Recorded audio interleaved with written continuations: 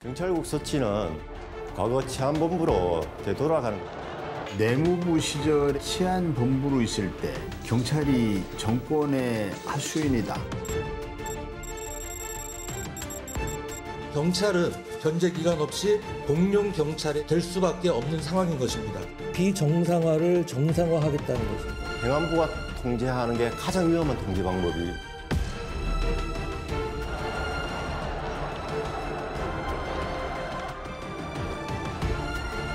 경찰이 결사반다는 주요 이유가 뭐냐면 과거와 같은 잘못된 일을 저지를 수 있다는 두려움 때문에 경찰 절대 혼자 두시면 안 돼요.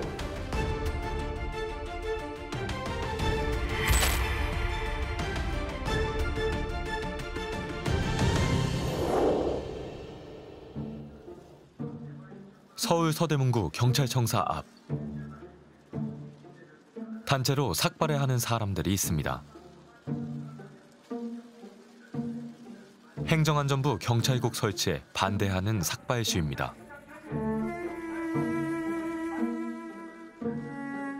앞으로 행안부의 경찰국 신설에 대해 철회할 때까지 매일 세명씩 삭발 시위에 나서도록 하겠습니다.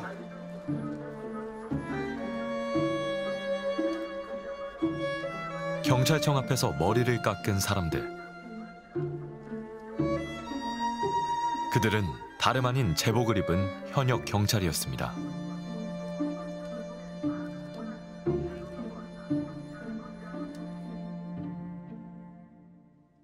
행정안전부 경찰국을 두고 정부와 경찰이 강하게 충돌했습니다.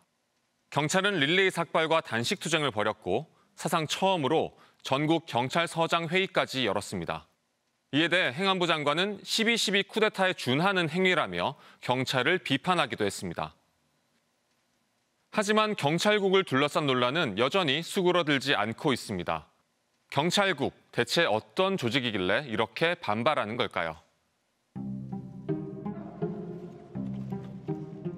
처음 삭발 시위를 주도한 것은 전국 경찰관서 직장협의회 소속 경찰관들이었습니다. 가장 먼저 삭발을 한 민관기 경위가 윤석열 대통령에게 보내는 편지를 읽었습니다.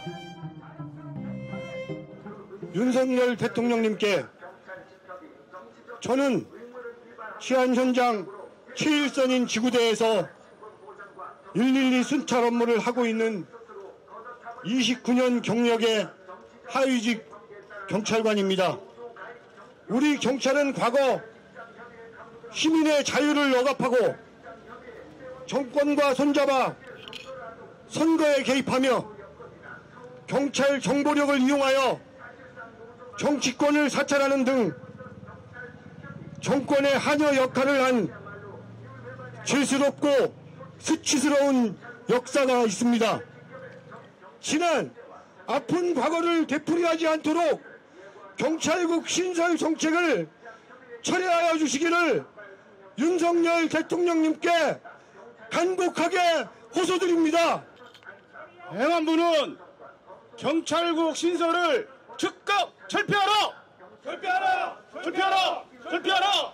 철폐하라! 철폐하라! 철폐하라!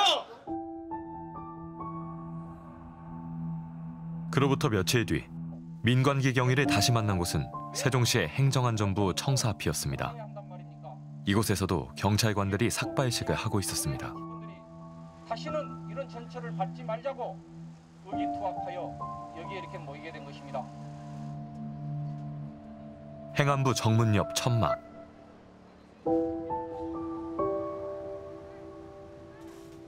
(30도를) 웃도는 무더위 속에 민관기 경위가 단식을 하고 있습니다. 행안부 경찰국 설치를 반대하는 단식 투쟁이 4일째 되던 날이었습니다.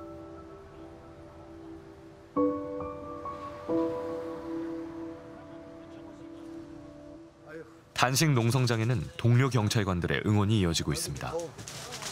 아이고 어때요? 괜찮아? 어이구 살이 좀 펄쩍 빠졌네. 경찰관 다들 한 몸이니까 한마음 한 뜻이니까 좀 네, 열심히 응원하고 있어요 저희들도. 빨리 네, 네. 고맙습니다. 아, 아침마다 한 세 명씩 삭발하는데 아, 옆에 있으니까 너무 너무 눈물이 나서 사실은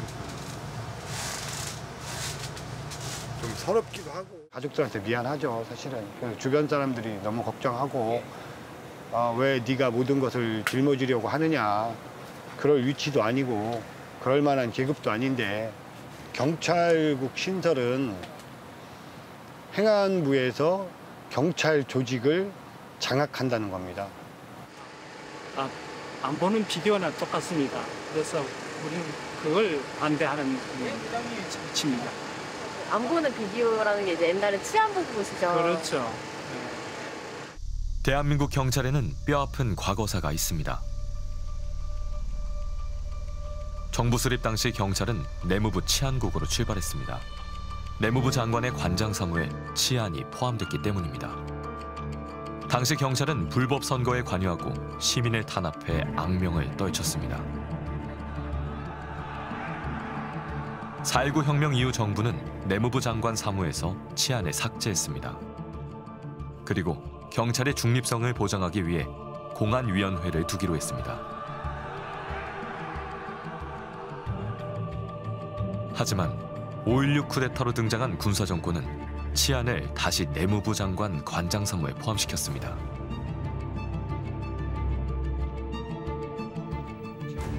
이후 전두환, 노태우 군사 독재를 거치며 경찰은 정권의 하수인이란 오명을 얻었습니다. 영화 변호인하고 1987에 나오는 경찰은 사실입니다. 영장 없이 연행해서 감금하고 그리고 고문까지 자행해가지고 자신들이 원하는 답을 찾으려고 했어요. 심지어는 고문을 통해서 무고한 젊은 청년을 죽음에 이르게 했죠. 1987년 초 서울대생 박종철이 경찰의 물고문을 받다가 목숨을 잃었습니다. 그해 여름에는 연세대생 이한열이 경찰이 쏜 최루탄에 맞아 사망했습니다. 민주헌법 쟁취 국민운동본부라는 불순단체가 오는 6월 10일 서울 한복판에 있는 성공의 대성당과 전국 각 지역에서 대규모 군정을 동원한 불법 집회 및 시위를 일제히 개최하려 하고 있고 독재 정권과 결탁한 경찰의 폭력에 시민들은 분노했고 그것이 바로 60 민주화 운동의 도화선이 되었습니다.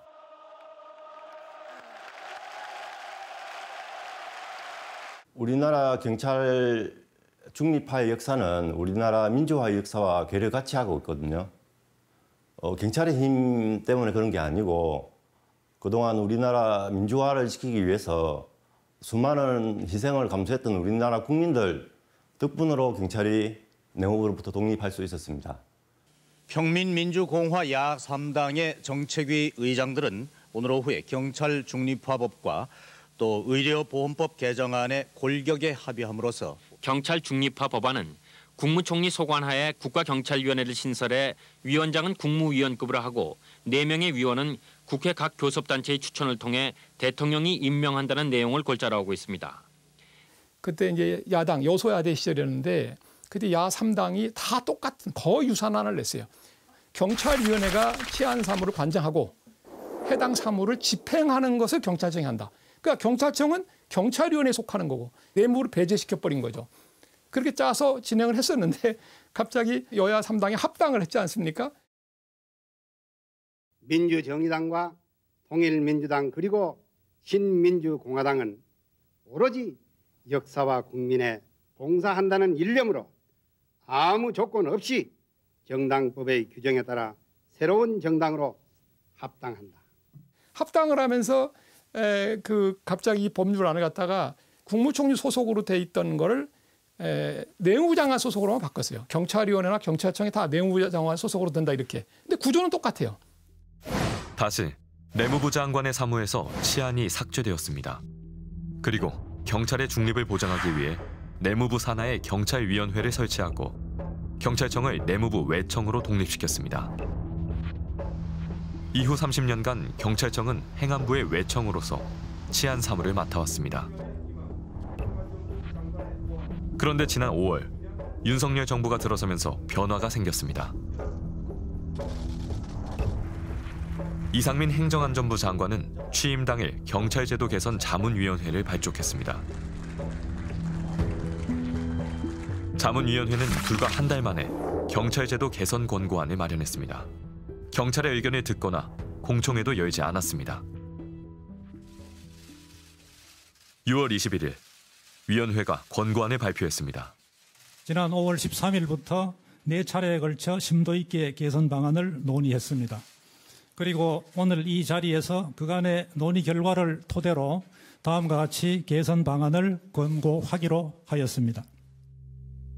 행안부 장관이 경찰 관련 권한을 행사하기 위해 지원 조직을 신설하고 경찰청장을 지휘하기 위한 지휘 규칙도 제정하라는 내용이었습니다. 그리고 행정안전부의 대답은 매우 신속했습니다.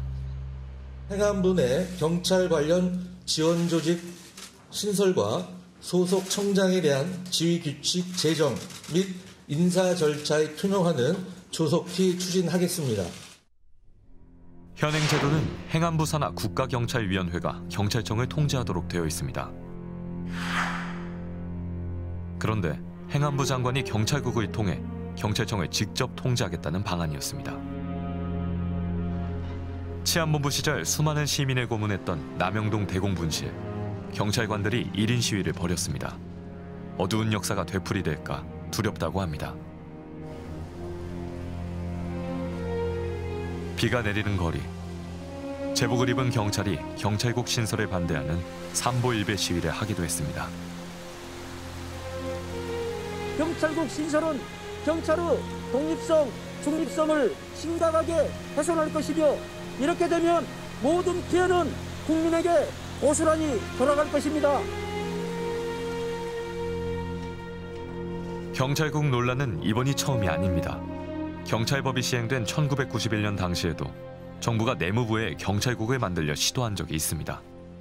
그 당시 경찰뿐만 아니라 언론에서도 저 내무부는 경찰을 놓아주라라는 제하에 사설을 낼 정도로 그때도 똑같이 어, 경찰청 독립의 정신을 훼손시키는 거다라고 하는 반대 여론이 있어서 당시 무산됐던 내용입니다. 하지만 이번엔 달랐습니다. 윤석열 정부는 경찰과 야당, 시민단체의 반대에도 불구하고 경찰국 설치를 밀어붙였습니다. 헌법과 법률에서 부여한 행정안전부 장관의 역할과 책임을 충실히 수행할 수 있도록 행정안전부 내에 치안감을 부서장으로 하는 경찰국을 신설하겠습니다. 행안부 산하에 설치될 경찰국에는 인사지원과, 총괄 지원과, 자치경찰 지원과를 두고 이상민 장관 자신이 직접 지휘하겠다고 밝혔습니다. 행안부의 발표가 나온 뒤 전국의 경찰서에 경찰국 신설에 반대하는 현수막이 일제히 내걸렸습니다.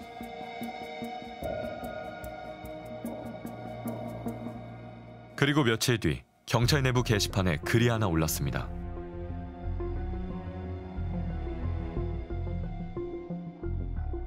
전국의 경찰서장들이 경찰국 신설 문제에 대한 의견을 모으기 위해 회의를 연다는 공지였습니다. 과연 이 글에 대한 관심이 어느 정도였는지 현직 경찰관에게 직접 들어봤습니다. 14만 경찰이 그 경찰관 전용 게시판을 사용하고 있는데 어, 보 통 좀 인기 있고 관심이 있는 글은 조회수가 만 건이 조금 넘으면은 큰 관심을 받아요. 왜냐하면은 교대 근무도 하고 또 하는 업무가 아주 매우 천차만별하거든요. 그리고 일이 바빠가지고 게시판에 못 들어가시는 경우도 많고요. 그래서 한 만 건 정도면은 큰 관심이고 2만 건 정도가 넘었다고 하면은 그거는 아주 크게 봤다라고 얘기할 수 있죠. 엄청난 관심을 받은 글이라고 볼 수 있습니다.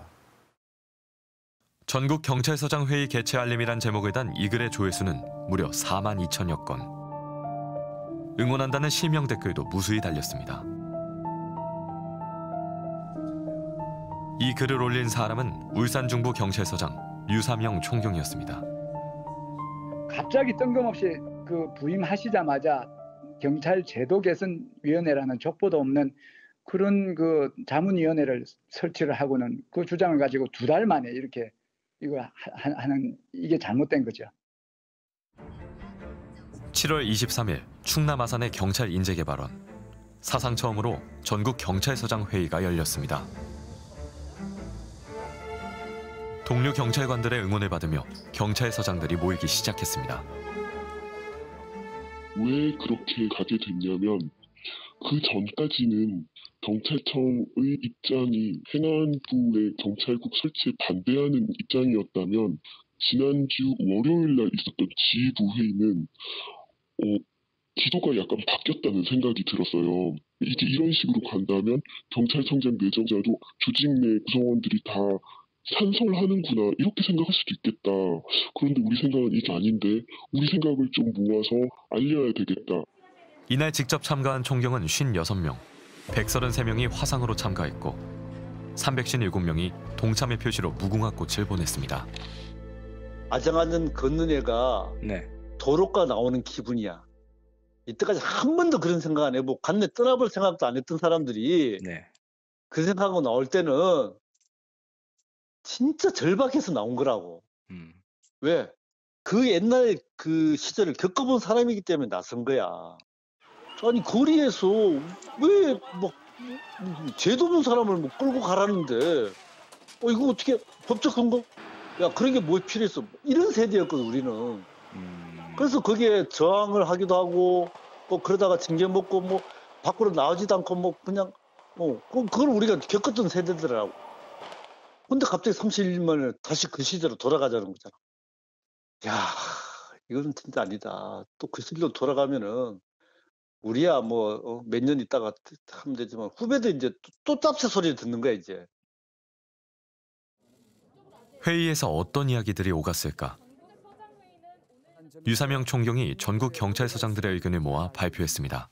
다만 행안부 장관의 규- 회의에서 많은 총경분들이 행안부 장관의 경찰청장에 대한 지휘 규칙이 법률 위반의 소지가 높다는 점에 공감하고 우려를 표했습니다. 또한 국민 안전에 미치는 영향이 지대한 사안에 대하여 국민, 전문가, 현장 경찰관들의 다양한 의견을 수렴하는 절차가 미흡했다는 점에 대한 비판도 있었습니다. 그리고 무엇보다 중요한 것은 진행 중인 경찰국 신설 법안의 입법 절차가 위법성 시비가 완전히 정리가 되고 각계각층의 의견이 충분히 수렴될 때까지 중단되어야 된다고 하였습니다. 그런데 경찰청에서 예상치 못한 반응이 나왔습니다. 회의를 주도한 유사명 총경에게 대기 발령 인사 조치가 떨어진 것입니다. 소명 절차조차 없었습니다. 어우 매우 비참하죠. 뭐 그렇게 급하게 했는지 토요일 날 회의를 마치고 바로 근데 그 다음 주 월요일 날 3일 후인 월요일 날 점심 때 경찰청장 내정자와 만나 같이 밥도 먹으면서 그때 어떠한 얘기가 나왔는지 전달하기로 했대요. 그런데 회의 끝나자마자 울산으로 복귀하는 차 안에서 대기 발령을 받았어요. 그리고 그 약속은 없었던 것으로 취소가 되었습니다. 이 부분에 대해서 많은 경찰관들이 황당해하고 도대체 그 배경에 무엇이 있는지 과연 청장 내정자의 뜻인지 아니면은 그 위에 보이지 않는 힘이 작용한 것인지에 대해서 많은 의견이 나오는 것이죠. 윤익은 경찰청장 내정자는 경찰 지휘부의 독자적인 판단이었다고 해명했습니다. 그럼에도 행안부 장관 등 윗선에서 인사에 개입한 것 아니냐는 의혹이 끊이지 않았습니다. 윤익은 경찰청장 내정자에게 취재를 요청했지만 응하지 않았습니다.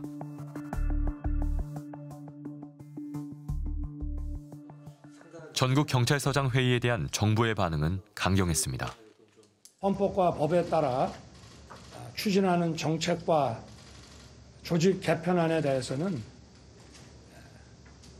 집단적으로 반발한다는 것이 중대한 국가의 기강 문란이 될 수 있습니다. 행정안전부 장관은 더욱 강한 발언을 했습니다. 이상민 행정안전부 장관이 경찰의 집단 행동에 대해 대단히 위험하다. 하나회의 12.12 쿠데타에 준하는 상황이라고 강한 표현을 썼습니다.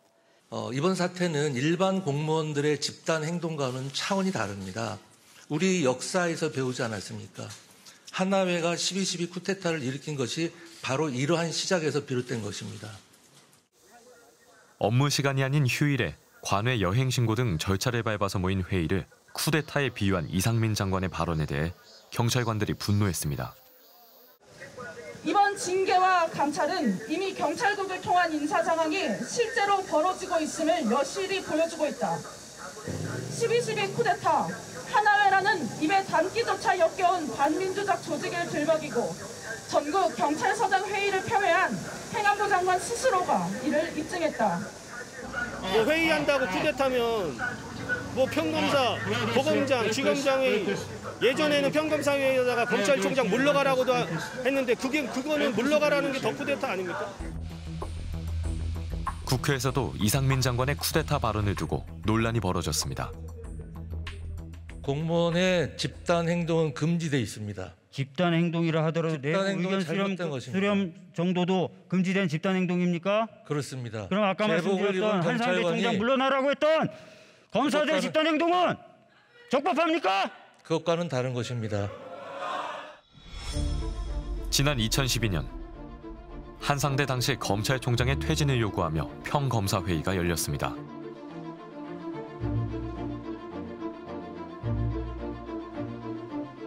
이외에도 검사 회의가 열린 것은 2003년 이후 총 6차례. 하지만 그들에 대한 징계는 단 한 번도 없었습니다. 그런데 단 한 번 모인 경찰서장 회의에 대해서는 쿠데타에 준하는 상황으로 규정하고 감찰을 지시했습니다. 한 경찰관은 이와 같은 정부의 이중잣대가 공정하냐고 반문했습니다. 어, 저 개인적으로도 그 말씀이 자꾸 생각나서 어, 잠도 제대로 안 오고 밥도 제대로 못 먹고 일도 손에 잘 안 잡히거든요. 검사들은 뭐 평검사회, 부장검사회 하면서 벌써 몇 번씩이나 검사 회의를 주최했는데도 불구하고 어, 검사들은 직위도 높고 힘도 세니까 괜찮고 경찰은 직급도 낮고 힘도 없으니까 이거는 국기문란이다.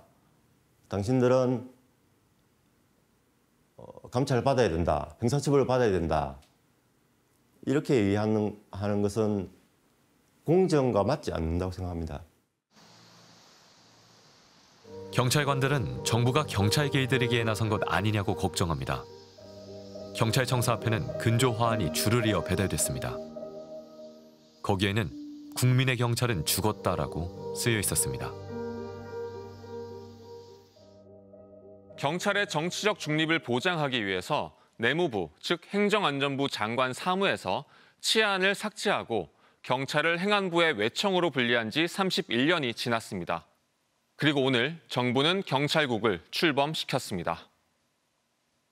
경찰법이 시행된 1991년 당시 노태우 정부가 내무부 경찰국을 만들려다가 여론의 반대로 실패한 적이 있습니다. 경찰의 독립성을 무엇보다 중요하게 생각하는 민심 때문이었습니다. 그런데 윤석열 정부는 왜 각계의 반대에도 불구하고 경찰국 설치를 추진한 걸까요? 윤석열 대통령의 후보 시절 공약에는 경찰국 설치에 관한 내용이 없었습니다.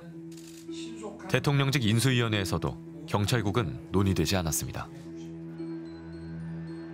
경찰국은 윤석열 대통령이 고등학교 후배인 이상민 전 판사를 행안부 장관에 임명하면서 이슈로 떠올랐습니다. 이상민 장관은 취임과 함께 경찰 제도 개선 자문위원회를 소집했습니다. 그 배경은 무엇일까?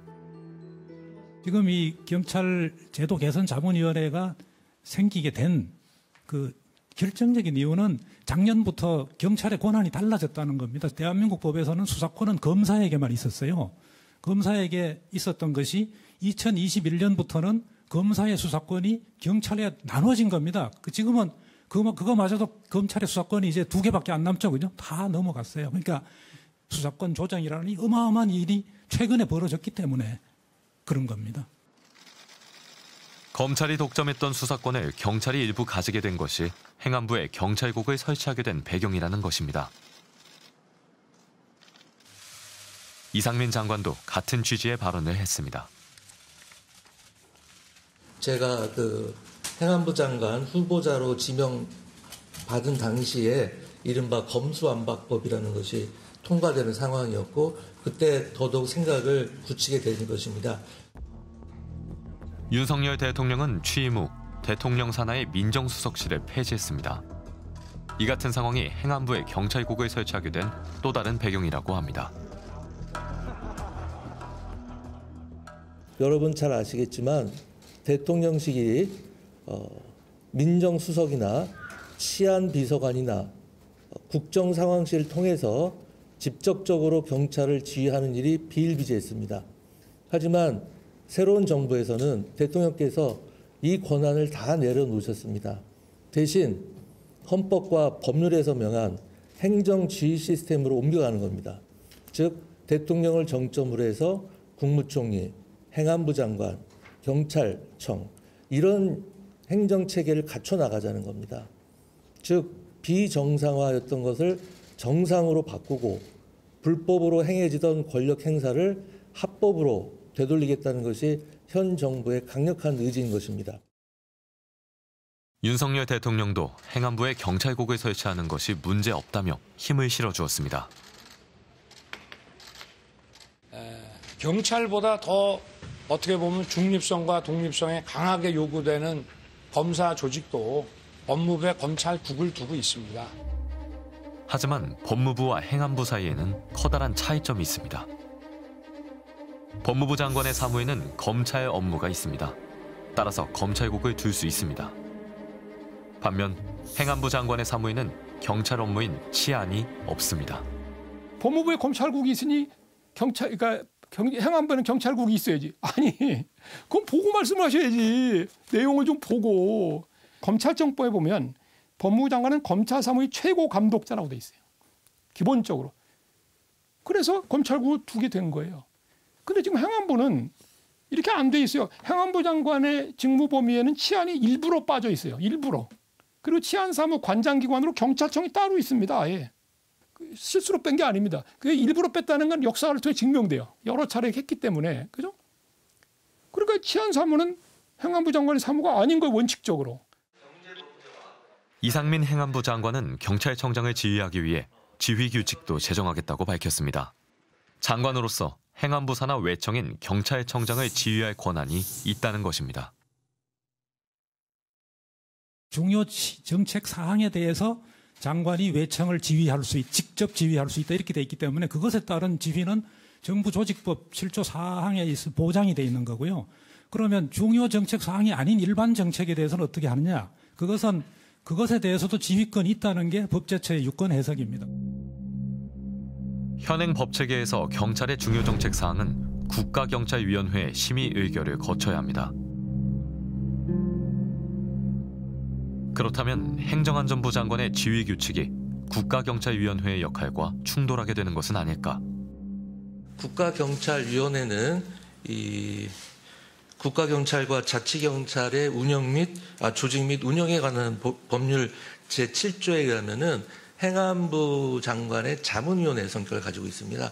법, 에 에, 그런 식으로 규정이 되어 있는데 그렇기 때문에 방금 말씀드린 승인 사항 중에서 법령의 재개정이 필요하다든가 뭐 그 경찰의 장기적인 뭐 발전 방안이라든가 그런 것들은 이제 국가경찰위원회 사전 심의 의결을 거쳐서 어, 행안부 장관의 승인을 받는 그런 형태로 되게 되는 것입니다.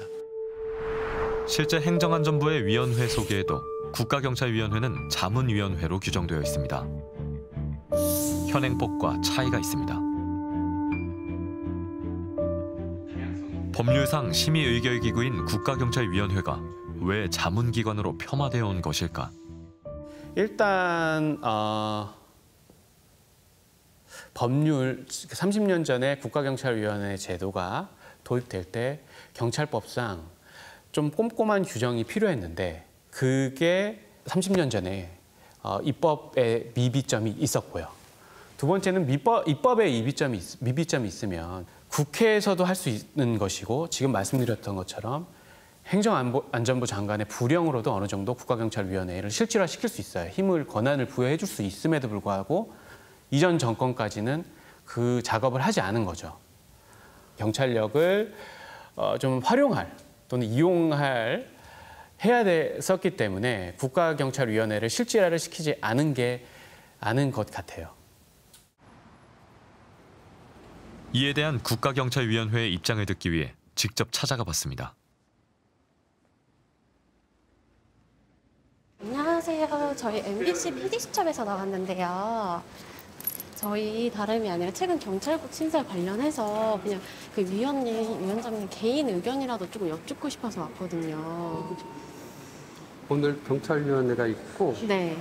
제가 경찰을 대표하는 사람으로서 네. 경찰 관련해서 개인적인 의견을 네. 말씀드리는 게 적절치 않아서 네. 저희 공보를 통해서 네. 언제나 저희 위원회가 의사를 밝히고 있거든요. 네. 그걸 좀 참고해 주시면 될 것 같아요. 며칠 후 국가경찰위원회가 공식적인 입장을 밝혔습니다. 소속 청장 지휘 규칙은 절차상 하자가 있으며 전반적인 재검토가 필요하다는 내용이었습니다. 국가경찰위원회가 제대로 역할을 못한다는 건 사실입니다. 그래서 2017년에 활동했던 경찰개혁위원회에서도 국가경찰위원회 실질화를 권고했습니다. 국가경찰위원회가 제대로 역할을 못하니 우리가 역할을 하겠다, 내가 역할을 하겠다라고 하는 건 지나친 오버입니다.